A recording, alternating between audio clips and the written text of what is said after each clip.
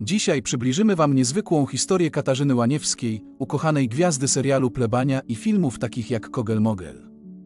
Choć na ekranie zawsze uśmiechnięta, w życiu prywatnym zmagała się z wieloma trudnościami, od zdrady męża, przez bolesny rozwód, aż po walkę z chorobą. Jak Katarzyna Łaniewska radziła sobie z tymi wyzwaniami?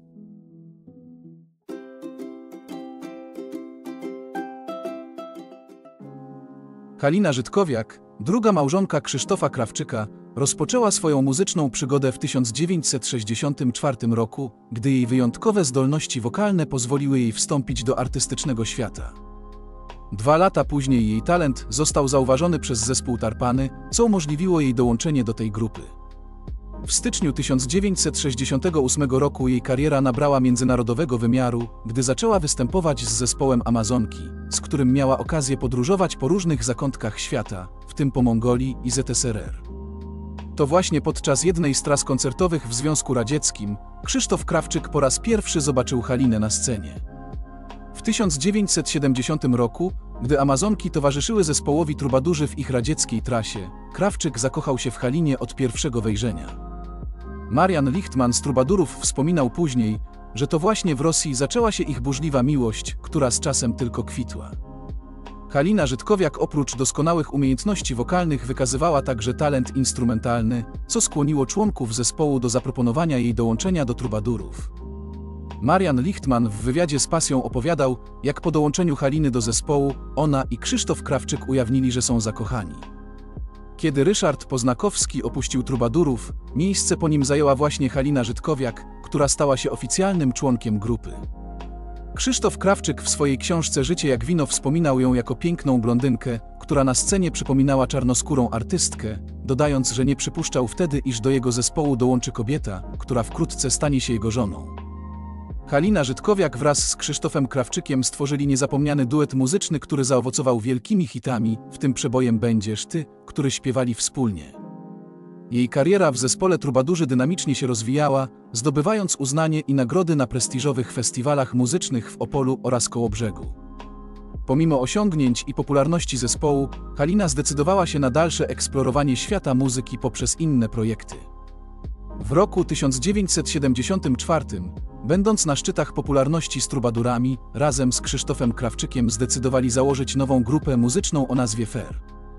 Ich nowy zespół zyskał międzynarodową sławę, organizując turnę po Stanach Zjednoczonych, gdzie występowali dla amerykańskiej Polonii. W tym okresie Halina Żydkowiak zaczęła być krytycznie oceniana przez niektóre osoby, które twierdziły, że jej wpływ na Krawczyka spowodował jego odejście z trubadurów. Porównywano ją do Yoko Ono, oskarżanej o rozbicie The Beatles. Jednakże sam Krzysztof Krawczyk w swojej autobiografii obalał tę teorię, twierdząc, że jego decyzja o rozpoczęciu solowej kariery była podyktowana nie tylko chęcią realizacji własnych ambicji artystycznych, ale również koniecznością radzenia sobie z codziennymi trudnościami życiowymi. W książce podkreślał, że małżeństwo z Haliną, która spodziewała się dziecka, oraz potrzeba organizacji nowego życia i domu skłoniły go do podjęcia pracy nad własnymi projektami, aby zapewnić rodzinie stabilizację i przyszłość. Krzysztof Krawczyk i Halina Żydkowiak zdecydowali się na małżeństwo, które zostało zawarte w nieco niekonwencjonalnych okolicznościach. Odbyło się ono w cerkwi zgodnie z obrządkiem prawosławnym. Taki obrót spraw był podyktowany sytuacją życiową muzyka, który nie mógł uzyskać rozwodu kościelnego z pierwszą żoną, co uniemożliwiało mu zawarcie kolejnego związku małżeńskiego w kościele katolickim. Zainspirowany i zmotywowany, Krzysztof Krawczyk znalazł rozwiązanie organizując ceremonię ślubną w innej tradycji religijnej.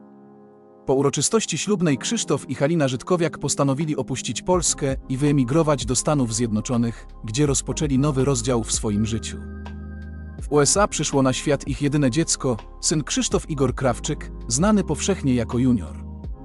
W czasie pobytu w Stanach Halina zdecydowała się rozwijać swoją karierę muzyczną jako artystka solowa. W 1978 roku nagrała swoją jedyną płytę solową pod tytułem Jestem tylko dziewczyną.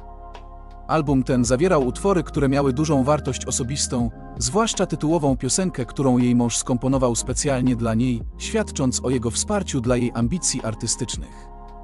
W refrenie tego utworu można nawet usłyszeć głos Krzysztofa Krawczyka, co dodawało piosence dodatkowego wymiaru emocjonalnego. Pomimo tych solowych starań, Halina Żydkowiak nigdy nie osiągnęła już takiej popularności, jaką cieszyła się występując razem z zespołem Trubadurzy.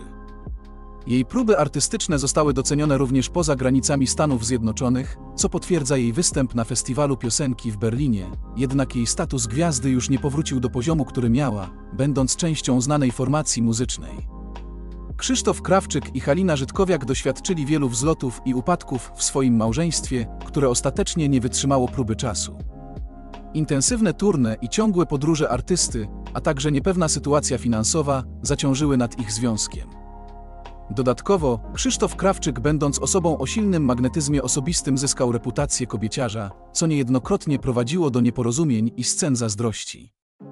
Mimo to nie te okoliczności były decydującym czynnikiem, który doprowadził do rozpadu ich małżeństwa. Według wokalisty decydującym ciosem dla ich związku była zdrada, o której dowiedział się od swojego syna. Prawdziwy ból zdradzonego człowieka poczułem dopiero wtedy, kiedy to ja zostałem zdradzony przez Halinę, wyznał Krawczyk w jednym z wywiadów. Marian Lichtman, bliski przyjaciel artysty, w rozmowie wspominał Halinę jako wyjątkową osobę w życiu Krawczyka, być może nawet najbardziej przez niego kochaną. Lichtman podkreślał jej ogromny talent i zastanawiał się, dlaczego para nie wykorzystała swojego potencjału do stworzenia wspólnego duetu artystycznego. Mieli wszystko, czego potrzeba, by razem tworzyć. Szkoda, że Krzysztof tego nie zrozumiał, mówił z żalem. Po rozstaniu z Haliną życie Krawczyka wkroczyło na nowe tory. Poznał swoją ostatnią żonę, Ewę, z którą postanowił wrócić do Polski w 1985 roku wraz z synem. W późniejszych latach w wywiadzie artysta wyraził żal z powodu swojej przeszłości, przyznając, że jego niewierność przyniosła ból nie tylko jego pierwszej żonie. Byłem idiotą, który zranił dwie wspaniałe kobiety. Wierność to fundament, na którym teraz opieram małżeństwo. U Ewy odzyskałem honor i nauczyłem się wartości monogami, zwierzał się Krawczyk, podkreślając zmianę w swoim podejściu do relacji i życia. Halina Żydkowiak, mimo że mieszkała w Stanach Zjednoczonych do końca swoich dni, nigdy nie osiągnęła tam oczekiwanego wielkiego sukcesu muzycznego.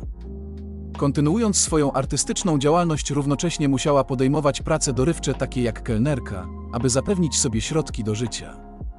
Dodatkowo jej życie osobiste również napotkało trudności, gdyż straciła kontakt z synem.